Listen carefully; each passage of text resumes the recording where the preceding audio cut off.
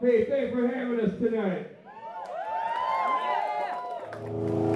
He's from Brattleboro, Vermont. He's from Oakland, California. He's from Amherst, Massachusetts. He's from Cleveland, Ohio. And I'm from... It does not matter. We came a long fucking way for you. And you.